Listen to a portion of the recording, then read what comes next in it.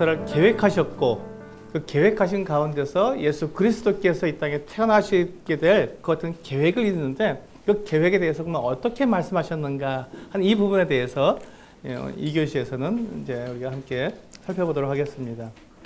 그래서 구약 성경에 예언된 예수 그리스도 이 부분을 한번 살펴보려고 합니다.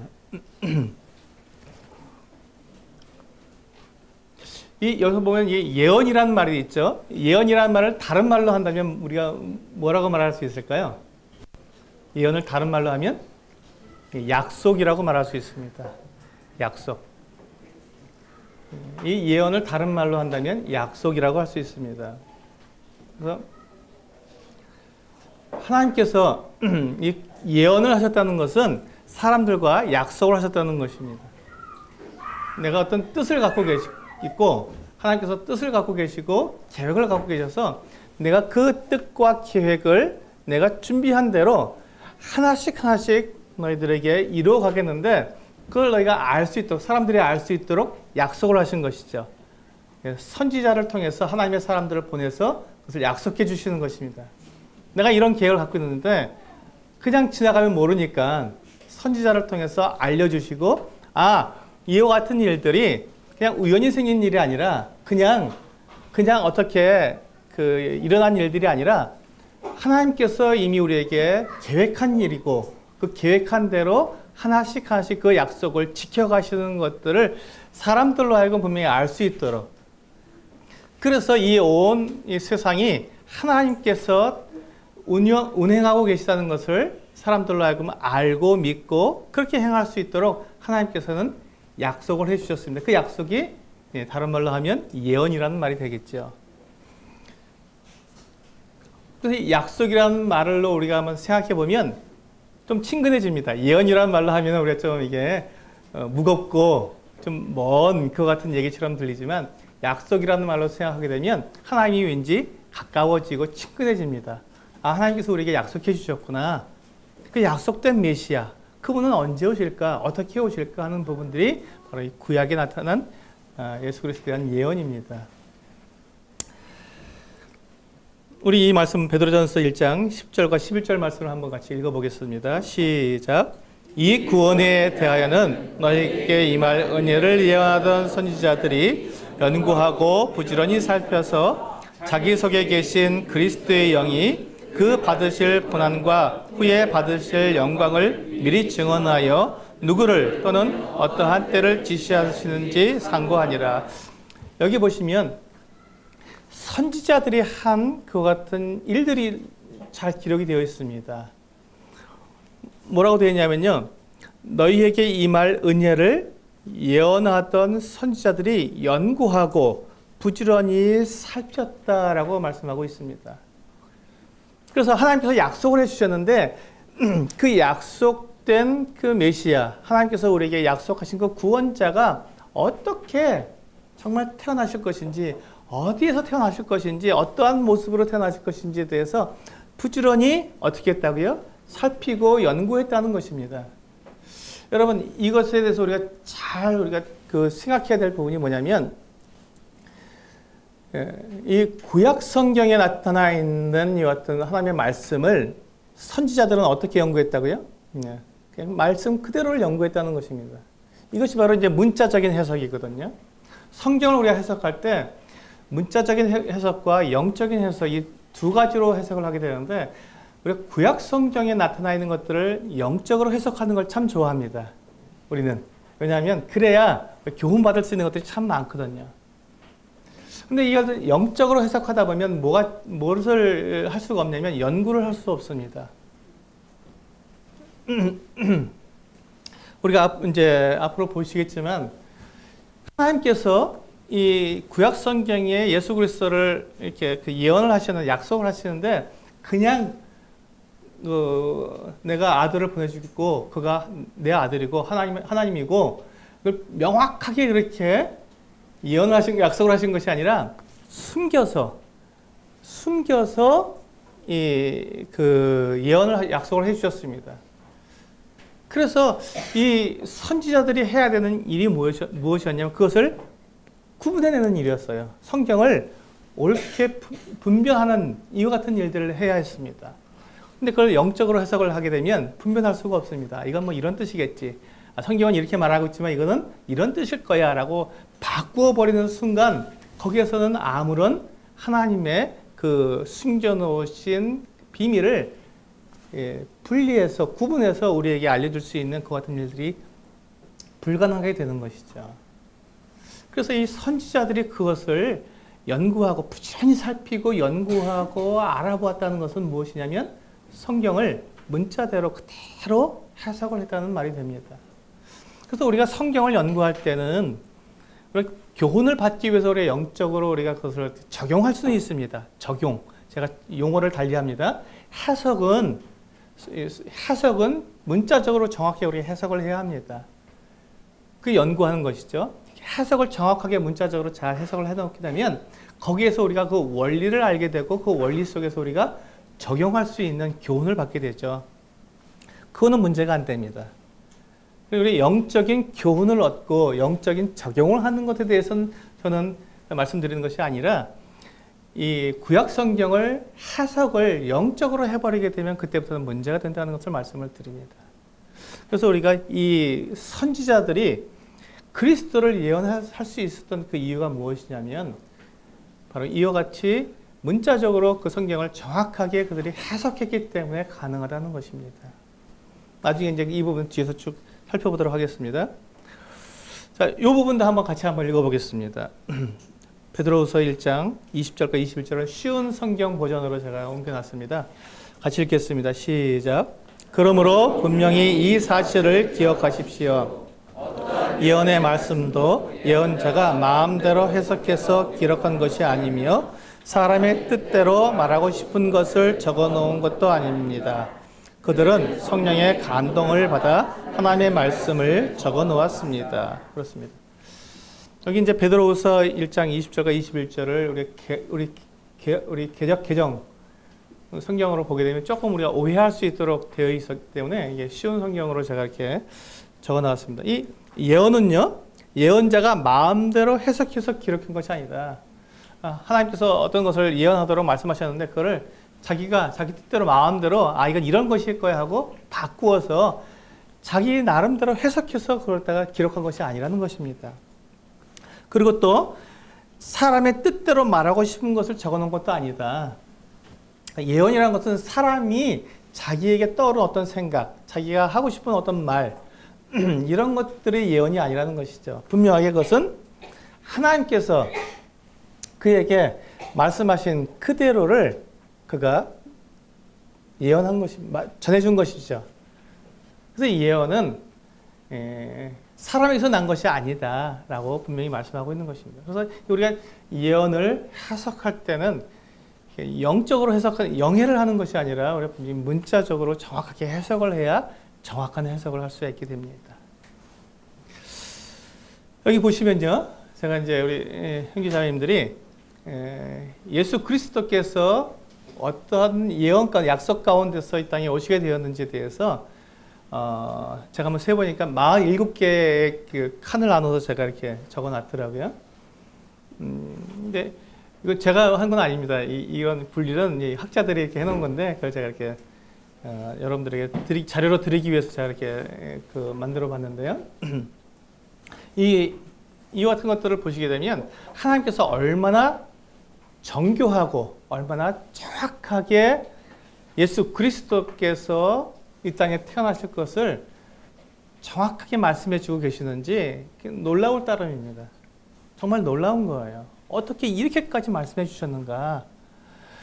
이렇게까지 말씀해 주셨기 때문에 구약 구약의 많은 사람들의 메시아를 기다리고 있었던 것이죠. 예수님께서 태어나실 때에도 사실 이스라엘 사람들은 유대인들은 메시아를 기다리고 있었습니까? 기다리지 않았습니까? 네, 기다리고 있었습니다. 지금도. 근데 사실은 지금도 이스라엘 사람들이 오실 메시아를 아직도 기다리고 있죠. 왜 그렇습니까? 예, 이렇게 예언이 되어 있기 때문에 그렇습니다. 이것을 정확하게 문자적으로 해석했기 때문에 아 하나님께서 메시아를 보내주시는구나 하고 그들이 그걸 알 수 있었죠. 이제 제가 요 내용들을 다 이렇게 우리가 하, 살펴보면 시간이 안 되니까 여러분들 이제 참고해서 읽어보시면 좋겠습니다. 대신에 여러분들이 성경 구절들을 다 확인해 보셔야 돼요. 확인해 보셔야만 이것이 아 정말 그렇구나라고 우리가 이해할 수 있습니다. 참 감사하게도 학자들이 잘 연구해 놓아서 구약 성경에 예언해 놓은 것과 그다음에 뭐 있죠? 신약에 그것이 어떻게 성취되었는지 그리고 그것이 어떤 뜻이는지 있 이것까지 다 이렇게 밝혀놓았잖아요. 굉장히 우리가 연구하기 좋게 만들어놨습니다. 이걸 한번 일일이 한번 시간 내셔서 확인해 보시기 바랍니다. 성경을 구절을 찾아서 확인해 보시면 아하 하나님이 이와 같이 정리하게 말씀하셨으며 그것이 완벽하게 이루어졌구나 하는 것을 우리는 알 수가 있게 됩니다. 예, 두 번째까지 이렇게 말씀을 드렸고요. 예. 요 이제 그림을 보시면 그렇다면 이 하나님께서 약속하신 이 약속의 예언에 이유가 있죠. 목표가 있겠죠. 하나님께서 예언을 하신 그 목표가 있는데 그 목표는 바로 여기 보시면 화살표가 가고 있죠. 예수 그리스도의 탄생에 있습니다. 구약 성경에서 예수 그리스도께서 어떻게 탄생하실 것에 대한 이, 이 부분에 대해서 굉장히 예, 분명하게 이렇게 그 목표를 가지고 예언을 해 오신 것입니다. 그래서 이, 우리가 이제 예언은 점진성이 있다라고 말을 합니다. 처음에는 막연하고 막, 연하게 이렇게 두루뭉실하게 예언을 시작합니다. 첫 예언이 창세기 3장 15절에 있는 여자의 후손으로 태어날 예수 그리스도에 대한 예언인데요. 거기 그때부터 계속해서 점차적으로 점진적으로 이것이 좁혀옵니다. 한 사람을 향해서 좁혀옵니다. 그 한 사람이 누구죠? 예수 그리스도 그분이시죠. 왜 그렇게 점진적으로 이 그 그 예언이 좁혀올까요? 그것은 예수 그리스도가 누구신지 정확하게 알 수 있게 하기 위해서입니다. 이 모든 예언들을 다 종합해 보면 그, 그 결국 그 하나님께서 말씀하시는 그분이 누구신지가 딱 나오기 때문에 부인할 수 없기 때문에 우리가 그것을 연구하지 않으면 예, 이 학자들이 그때 구약성 구약 시대 예수님께 탄생하실 때 그 선지자들과 서기관들과 이 율법 학자들이 성경을 연구할 때 정확하게 이 점진성을 가지고 누구신지에 대해서 정확하게 계속 따라와서 그것을 연구했다면 예수 그리스도 그분이 하나님의 아들이시라는 것을 결코 부인할 수 없었습니다. 근데 그렇게 하지 않고 이 점진 점진적인 계시를 갖다 그들이 무시하고 그냥 메시아가 오실 텐데 그 메시아가 오시면 그와 그가 하실 일들 그가 나타낼 권위와 능력과 그 모습만 기다렸기 때문에 오해하게 된 것이죠. 예수님을 부인하게 되고 예수님을 거절하게 된 것입니다. 그래서 이 예언의 이 점진성을 우리는 보고 그 목표가 누구냐 하는 것들을 우리는 알아봐야 합니다. 그래서 구약 성경의 예언된 예수 그리스도를 우리가 살펴볼 때이 우리가 그 성경 구절들을 다 찾아봐야 하는 이유가 바로 그것이죠. 정말로 이게 한 분을 향해서 이게 모이고 있는지 한 점을 향해서 가고 있는 것인지 아니면 흐트러 놓고 그냥 아무렇게나 이렇게 그냥 아무렇게나 이렇게 예언돼서 그 어떤 어떤 사람이 이룰 이루어낼 그 어떤 모습 능력 이런 것들을 이야기하고 있는지를 우리가 살펴봐야 된다는 것이죠. 근데 우리가 어, 감사하게도 성경은 예수 그리스도에서 예언을 할 때 그분이 누구신지 정확하게 알 수 있도록 점진적으로 한 점을 향해서 예언하고 계시다는 것입니다. 근데 그것을 우리가 어, 생각해 보시면요. 예, 좀더 이해하기가 쉽겠고요. 우리 그 교재를 보시면 여기 어, 화면에서 잘 안 보이니까요. 교재에 보시면 예언, 예언들 해갖고 첫 번째 예언이 뭐냐면 예, 창세기 3장 15절에 있는 말씀입니다. 예, 그래서 그 부분에 대해서 이제 우리 같이 한번 하나씩 하나씩 몇 가지만 전체를 다 다뤄볼 수 없으니까 몇 가지만 같이 살펴보면서 과연 그와 같이 점진적인 계시로 점진적인 예언을 통해서 예수 그리스도께서 분명하게 예언되어 있는가 하는 한번 살펴보도록 하겠습니다. 창세기 3장 15절 앞을 보시면 어, 우리가 볼 수 있습니다. 여기 보시면 내가 너로 여자와 원수가 되게 하고 내 후손도 여자의 후손과 원수가 되게 하리니 여자의 후손은 내 머리를 상하게 할 것이요 너는 그의 발꿈치를 상하게 할 것이니라 하시고 여러분 이 말씀을 문자적으로 해석하지 않고 영적으로 해석 영해를 하게 되면 어떻게 됩니까? 예, 이거는 여기서는 예수 그리스도를 발견할 수가 없습니다. 이게 무슨 뜻일까?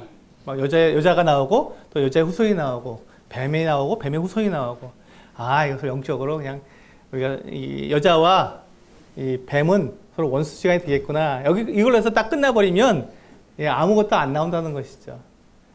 이 말씀에서 보면 여자가 나오고 그 뒤에 이 말씀에 숨겨 있는 여자의 후손이라고 하는 이 단어에 집중할 수밖에 없는 것이죠. 왜 하나님께서 여자와 뱀이 원수가 되게 하겠다는 이 말씀을 하시면서 그 싹 숨겨서 거기에 여자의 후손이라고 하는 이 갑작스러운 단어를 꺼내는데 이것에 대해서 우리가 집중하게 문자적으로 해석하지 않으면 우리 이것을 그냥 여자라고 하는 여자의 여자들이라고 하는 이것은 그 단어 속에 우리가 숨어버릴 수 있는 이야기가 되는 것이죠. 근데 여자들하고는 상관없이 여자의 후손 이분이 단한분 예수 그리스도를 구원자를 말씀하고 있는 것이죠. 그래서 이제 이렇게 해서 하나님께서 이제 두루뭉실하게 아 여자의 후손 가운데서 누군가가 태어나겠구나 하고 이야기를 시작하고 있습니다. 그런데요, 우리가 음, 여기서 생각해야 될 것은요, 하나님께서 약속하신 것이 있고 하나님께서 계획하신 것이 있으면 사단은 어떤 일을 할까요? 방해를 하시오. 맞습니다. 사단은 방해를 하고 또 사람은 어떨까요? 사람은 어떤 역할을 할까요? 예, 실패를 합니다. 사람은 예, 하나님의 계획에 예, 아주 능숙하게 실패를 합니다. 우리들도 실패하고 있잖아요. 하나님의 뜻이 우리 알고 있으면서도 우리 뜻에 우리가 완벽하게 적응하지 못하고 우리는 계속 실패하잖아요. 사람은 실패하는 존재입니다. 근데 그 실패하는 사람들을 데리고 또 방해하는 사단의 그 방해를 가지고 하나님께서는 그 모든 것들을 다 이기시고 다시 하나님의 뜻을 이루어 가시기 때문에 그분을 우리는 하나님이라고 우리는 어, 경배하는 것이죠. 아, 하나님이시 맞습니다. 하나님 당신이 하셨습니다라고 우리는 고백을 하게 됩니다.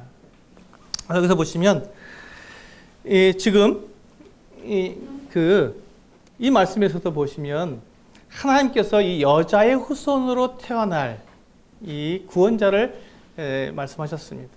그때 이 하와가 이 말씀을 듣고는 어떻게 합니까? 아, 내가 이제 아들을 낳으면 그들이 어떻게 하 그가 구원자가 되겠구나 생각했습니다. 그래서 가인과 아벨을 낳았는데 그들이 어떻게 됐습니까? 예, 가인이 아벨을 때려 죽였죠. 사람은 실패합니다. 사람은 실패합니다. 가인과 아벨은 하나님의 아들, 이 하나님께 약속하신 그 대상이 아니잖아요. 근데 그들은 실패할 수밖에 없죠. 그들은 구원자가 될 수 없습니다.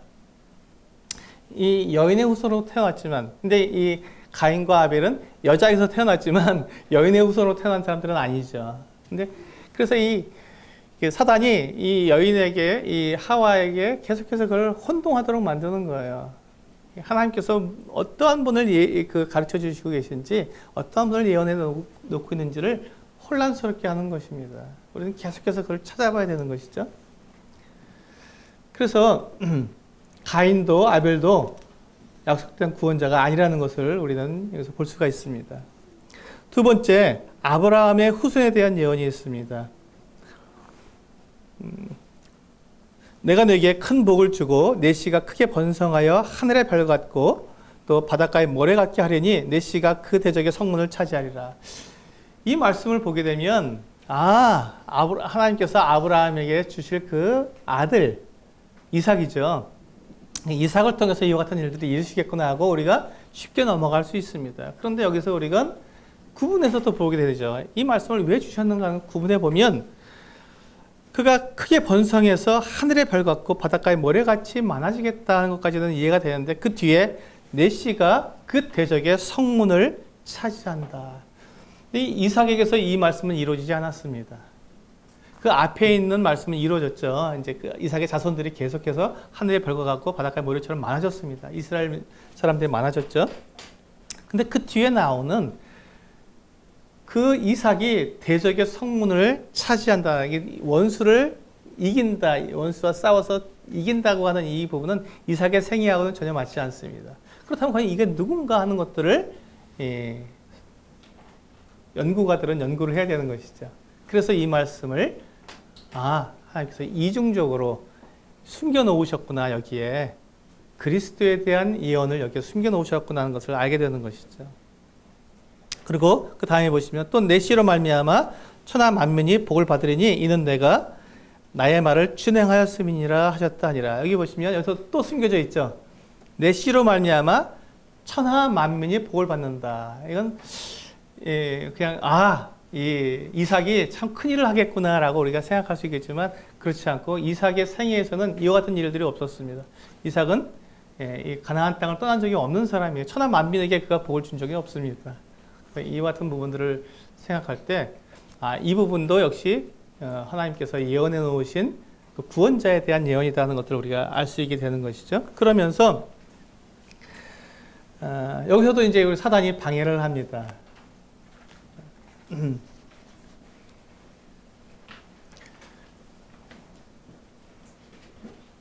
이 이삭에 대한 방해는 누가 방해가 될까요?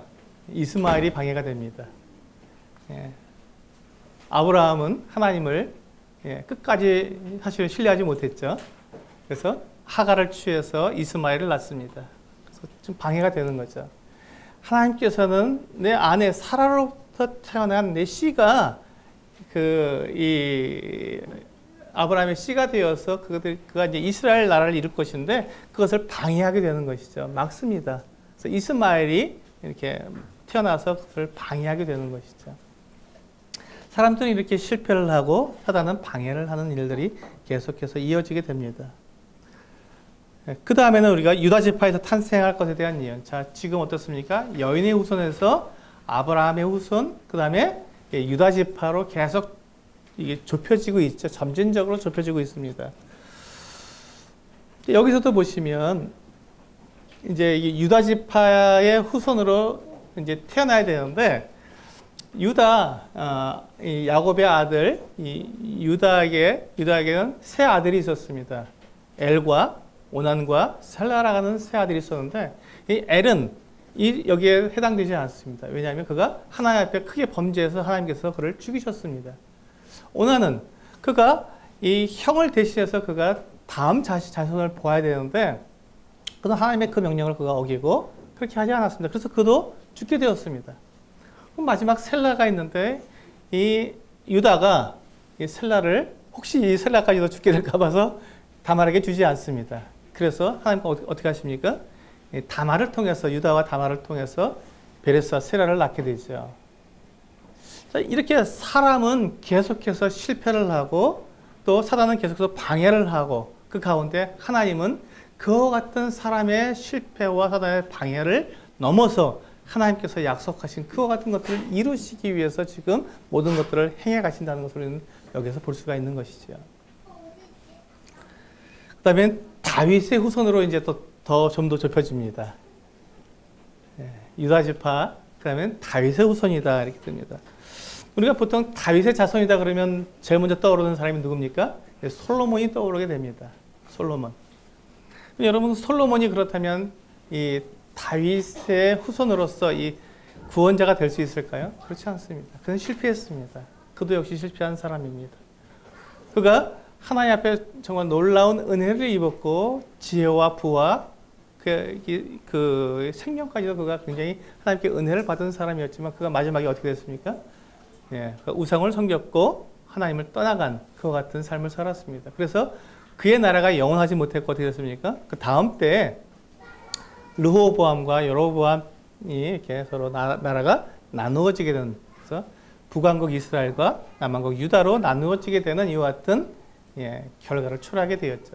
사람은 실패합니다. 하나님은 분명히 약속하셨고 사람은 실패합니다. 그것을 통해서 하나님께서 예언하신 하나님께서 준비하신 그 구원자가 누구인지가 계속해서 그 밝혀지는 것이죠. 사람들이 생각하기 쉬운 그거 같은 사람이 아니라 하나님께서 예비하신 그분이 태어나실 것이라는 것을 계속해서 점진적으로 지금 예언해서 나가고 계신 것입니다. 그리고 이제 어, 우리 하나님께서 이 이사야를 통해서 이 처녀에게서 태어날 그 구원자를 예언해 놓으셨습니다. 굉장히 이제 좁혀졌습니다. 근데 이, 이 부분에 대해서도 사람들이 영적으로 해석을 합니다. 처녀가 어떻게 사람을 낳느냐, 어떻게 아들을 낳느냐, 전혀 그럴 수 없다. 결혼하지 않은 사람이 어떻게, 그 여인이 어떻게 아, 아이를 낳을 수 있겠습니까? 그러니까 이것은 영적으로 해석해야 한다라고 그렇게 어, 메시아에 대한 예언으로 해석하지 않고 있었습니다. 그렇기 때문에 주님께서 여자에서 태어났을 때 그것을 믿지 못했던 것이죠. 그 처녀 마리아가 예수 그리스도를 낳게 되었을 때 그걸 인정하지 않는 사람이 더 많죠. 지금도 어떻게 처녀가 아이를 낳을 수 있냐고 지금도 그것을 믿지 못하고 부인하는 사람들이 참 많습니다. 예수 그래서 하나님께서는 아주 굉장히 정확하게 예수 그리스도가 아니면 안 될 그 아니도록 분명하게 그 예수 그리스도 그 한 분을 향해서 예언을 계속해 오신 것이죠. 그것은 이제 마태복음 1장 23절에서 1장 어, 23절에서 이 이사에서 7장 14절에서 예언된 이 말씀이 어떻게 성취되었는가를 분명히 얘기 말씀해 주고 있습니다. 똑같은 말씀이 있지 않습니까? 보라 처녀가 잉태하여 아들을 낳을 것이요 그 이름은 임마누엘이라 하리라 하셨으니 이를 번역한즉 하나님이 우리와 함께 계시다니라. 그렇습니다. 바로 이 처녀에게서 태어날 뿐. 근데 그 모든 계보가 이미 만들어졌죠. 아브라함부터 예, 유다 지파로 해서 또 다윗의 자손으로 해서 처녀가 태어나야 한다는 이 계보가 예, 점진적으로 완전히 다 만들어져서 예수 그리스도에게 탁 그, 이루어지 성취하게 된, 된 것입니다.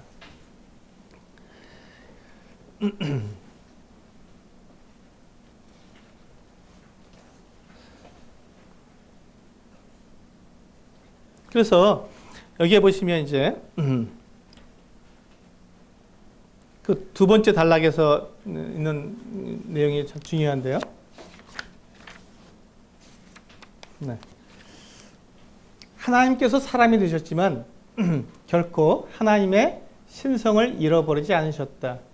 하나님께서 사람으로 태어나셨기 때문에 연약, 시험, 고난, 죽음을 당할 수 있게 되었지만 결코 단 한순간도 신성이 손상받지 않았다. 이게 대단히 어, 우리가 이 예수 그리스도께서 예언그 사람으로 태어나실 것을 예언되셨고 그 사람으로 태어나실 태어나신다는 것에 대한 우리가 오해 오해를 우리가 어, 불식시키기 위해서 이말이 내용이 참 중요합니다. 예수 그리스도는 하나님이십니다. 그 하나님이신데 그분이 사람이 되셨는데 그러면 사람이 되셨다는 것은 사람이 가지고 있는 그 연약함과 그 여기 보시면 그 시험, 고난, 죽음까지도 다 가능하게 되었다는 것입니다. 하나님이신데 하나님이 어떻게 그 같은 것들을 당할 수 있느냐 하는 것이 이제 우리가 논리가 이제 복잡해지는 것이죠. 그래서 하나님 이 예수 그리스도는 신성과 인성이 동시에 함께하고 계신 분이다라고 우리가 말하고 있는 것입니다. 이것이 가능하기 위해서 예수 그리스도는 처녀에게서 태어나셔야 했다는 것입니다. 어, 여기서 이제 제가 음, 말씀드리고 싶은 것은요. 하나님께서 이제 예수 그리스도를 어, 이 땅에 보내시는 것은 하나님께서 가지고 계신 계획, 뜻을 이루기 위하심입니다. 근데 어, 이 하나님께서 처음에 사람을 만드실 때 가지고 계셨던 그 계획이 뭐였죠? 하나님께서 처음에 가셨던 그 근본적인 계획, 사람을 왜 만드셨다고요? 예. 하나님과 사람이 함께 거하기 위해서 그렇게 만드셨습니다. 그래서 지금 예수 그리스도께서 지금 하나님이신데 그분이 점진적으로 예언을 통해서 결국 어떻게 되신다고요? 예수 그 처녀에게서 태어날 한 아들이다, 사람이다라고 말씀하고 있는 것입니다. 하나님이 사람이 되신다는 것이죠. 그래서 하나님이 신성과 인성이 예수 그리스도께 함께 계시다는 것이 바로 하나님께서 사람과 함께 계신다고 하는 그 같은 이름입니다. 그래서 임마누엘이라고 하죠. 임마누엘의 뜻이 뭐라고요? 사람이 예, 하나님과 함께 계시다.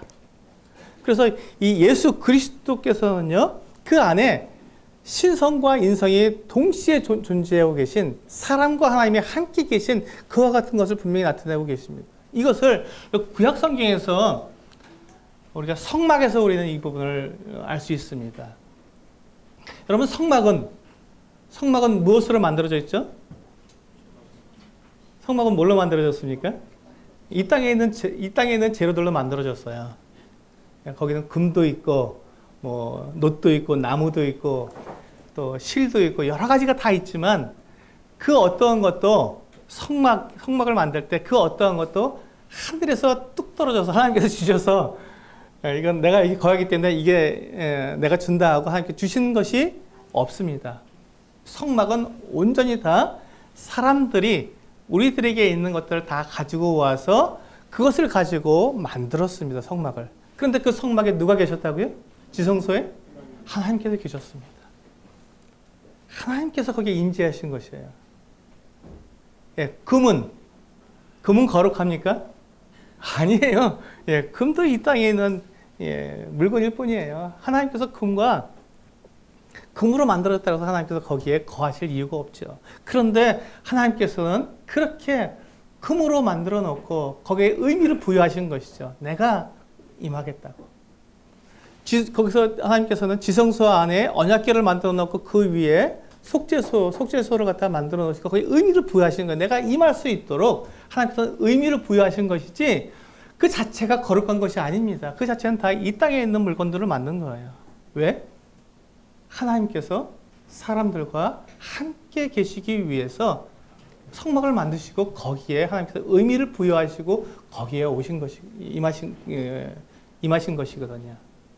이게 바로 하나님과 신 하나님의 그 신성과 이 사람 이 인성이 동시에 존재할 수 있도록 성막이 바로 그 같은 예표하는 것입니다. 예수 그리스도를 예표하고 있죠. 그렇다면 지금 예수님께서 그 처녀에게서 태어나실 그분 그분은 사람의 몸을 분명히 가지고 계셨는데 이 사람이 그 안에 신성이 거하신다는 것이 그러면 이, 이, 이, 이 예수 그리스도를 우리가 이야기할 때 이분을 우리가 인성으로 해야 됩니까? 아니면 신성으로 얘기해야 됩니까? 예. 사람이 되신 뒤에 뭐가 붙죠? 하나님이시다. 예, 하나님을 강, 하나님을 강조해야지 사람을 강조할 수는 없습니다. 하나님이 더 크기 때문에 그렇습니다. 예. 하나님이십니다. 근데 그분은 사람이 되신 것이죠. 그래서 신성과 인성이 동시에 존재하시는 분이다라고 우리는 음, 이야기하게 됩니다. 근데 이것을 이것을 예, 사단이 어떻게 합니까? 방해하죠. 회방놓죠. 그리고 사람은 실패하게 되고요. 그래서 이 마리아가 잉태를 하게 됩니다. 근데 이 마리아가 지금 어디에 있습니까? 나사, 나사렛에 있지 않습니까? 거기에서 이제 이, 이 어디로 와야 됩니까? 베들레헴으로 와야 됩니다. 베들레헴 왔는데 아이를 낳을 곳이 없어요. 사람들은 이렇게 실패를 하고 방해를 합니다. 하나님 그럼에도 불구하고 하나님은 정확하게 하나님의 뜻을 이루시고 있죠. 네, 그것은 이제 다음 시간에 또 할 얘기인데 제가 미리 했습니다. 헷갈리기 시작합니다. 네, 우리 이제 여기에서 보시면 그렇다면 우리가 음, 하나님께서 이 세상을 그와 같이 지금 이렇게 예언을 통해서 약속을 통해서 이끌어 가시고 그것을 우리가 보여주고 계신데 하나, 이 하나님께서 이 세상을 이끌어 가실 때 에, 사단의 방해와 사람들의 실패가 과연 하나님의 이와 같은 약속과 기획을 어, 망칠 수 있겠는가 하는 것입니다. 그럴 수 없다는 것이죠. 그것이 바로 이 하나님의 경륜의 일곱 세대라고 하는 이 부분을 통해서 우리가 알 수 있는 부분들입니다. 사람은 계속해서 실패합니다. 여기 보시면요. 어, 첫 번째, 무죄 시대가 나오죠.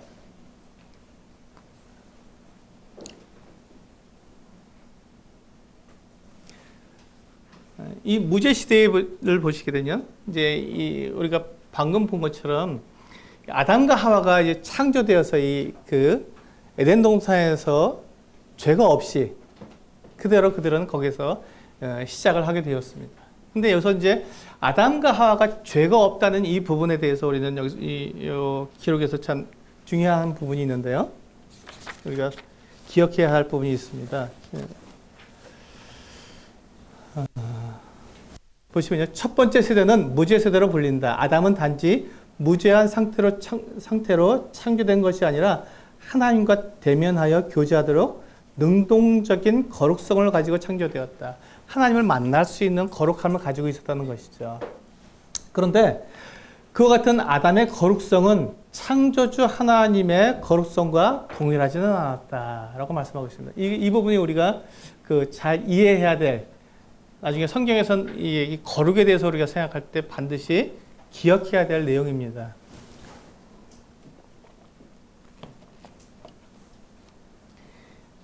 사람이 가지고 있는 이 거룩성은요, 그가 죄가 없다 할지라도 하나님의 거룩하고는 같지 않다는 것입니다. 또한 그 거룩성은 그 설명이 나오는데요. 그 거룩성은 그가 자신 앞에 놓인 시험을 성공적으로 통과할 때까지 확증되지 않았다. 그러므로 무죄시대 아담의 도덕적인 상태는 확증되지 않은 피조물적인 거룩성이다. 이걸 아, 좀 제가 설명을 드리겠습니다. 지금 이 아담과 하와는 하나님을 만날 수 있었습니까? 없었습니까? 만날 수 있었습니다. 그러니까 그들이 거룩했다는 것이죠. 근데 이 거룩은 하나님께서 가지고 계신 거룩과는 좀 차원이 다르다는 것이죠. 하나님은 죄를 지을 수 있습니까? 없습니까? 없습니다. 죄를 짓지 않는 능동적으로 죄를 갖다가 거절하고 죄와 상관없이 죄를 에, 멸할 수 있는 거룩성을 가지고 계십니다.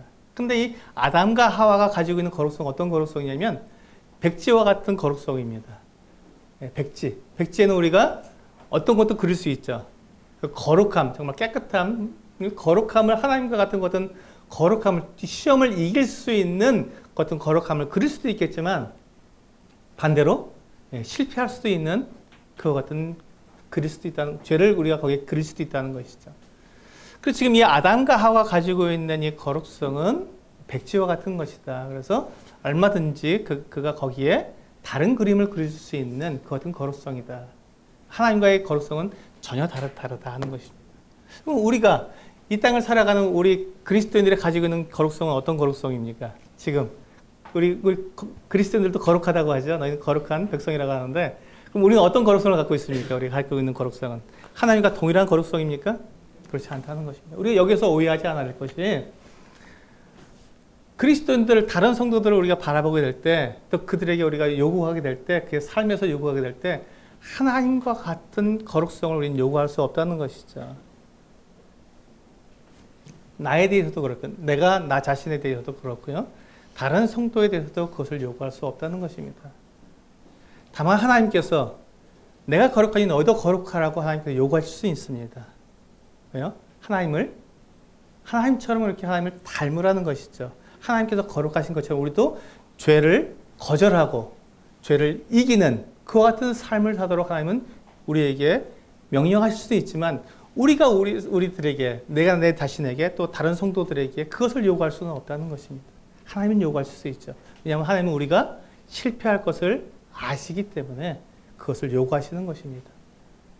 실패할 것을 아시기 때문에 요구하는 것이죠. 우리가 실패하지 않는다면 전혀 우리가 실패하지 않는 하나님과 동일한 거룩성을 우리가 가지고 있다면 하나님께서는 우리에게 그것을 요구하지 않으시죠. 그냥 둬도 하나님과 동일한 거룩성으로 살아갈 거니까 실패하지 않는다면 근데 우리가 실패할 것을 아시기 때문에 우리가 그것을 요구하신 것입니다.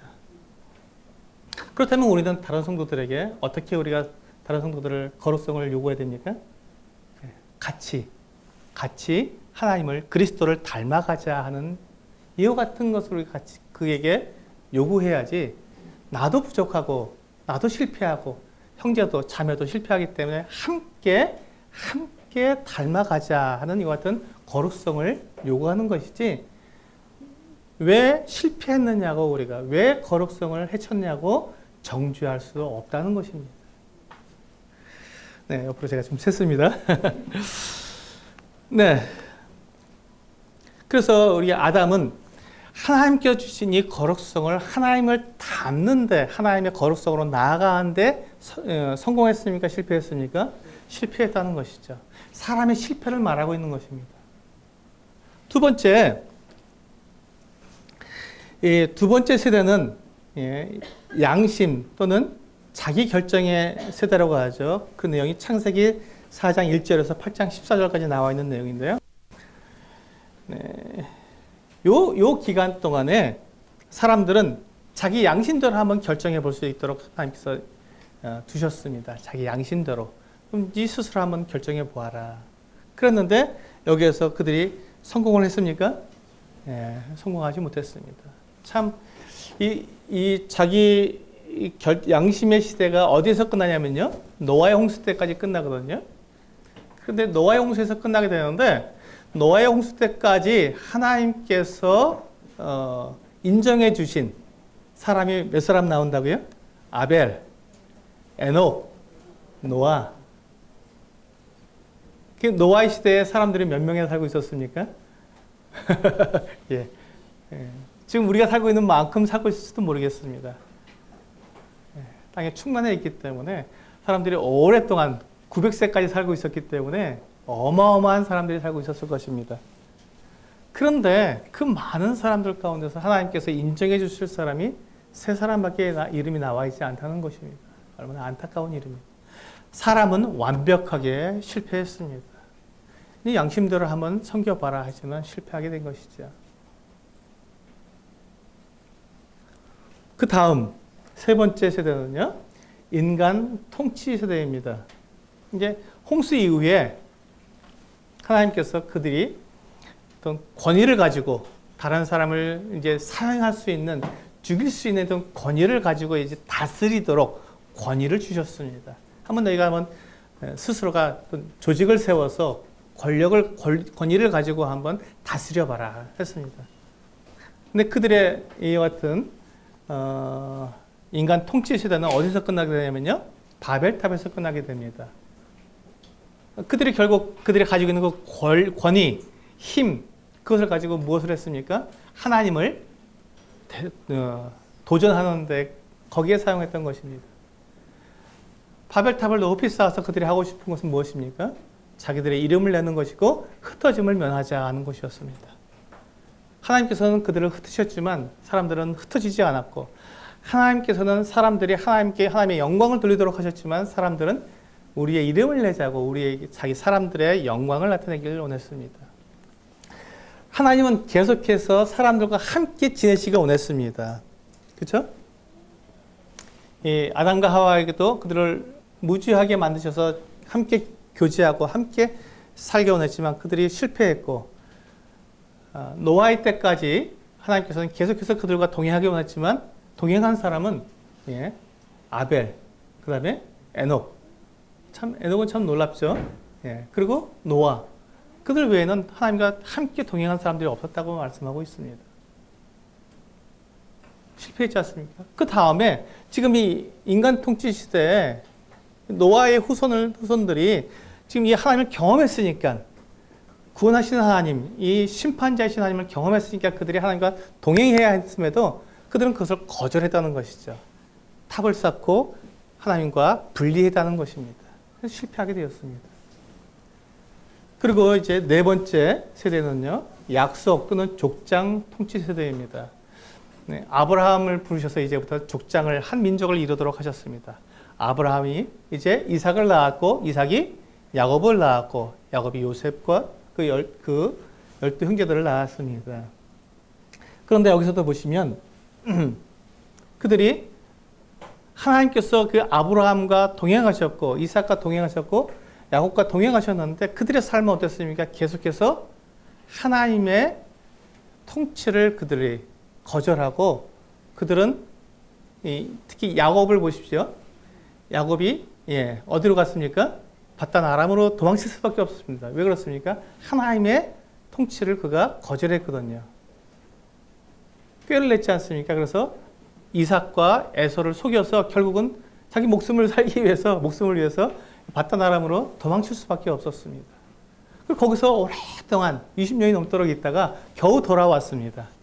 그런데 겨우 돌아왔는데 이 야곱의 형제들이 야곱의 그 자녀들이 형제들이 어떻게 했습니까? 예, 요셉을 팔아넘겨 버렸습니다. 어떻게 해서 팔아넘겼죠? 시기해서. 그리고 그를 거의 죽여서, 예, 그리고 그를 노예로 팔아버렸습니다. 그래서 요셉이 어디로 갑니까? 예, 애굽으로 예, 떠나가게 됩니다. 그들 가운데 하나님께서 그들과 함께 하실 수가 없는 거잖아요. 지금 이 야곱의 열두 아들 중에 이 요셉을 제외하고 이, 요셉의 열 명의 형들하고 하나님께서 함께 하실 수 있겠습니까? 그 같은 죄악 가운데 있는 이들과 할 수 없었습니다.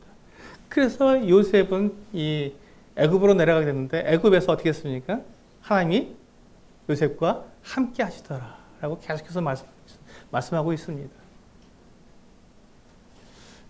그래서 이제 그들은 거기서 실패하게 되었고요. 그 다음에는 다섯 번째 이제 모세 율법 세대가 나옵니다.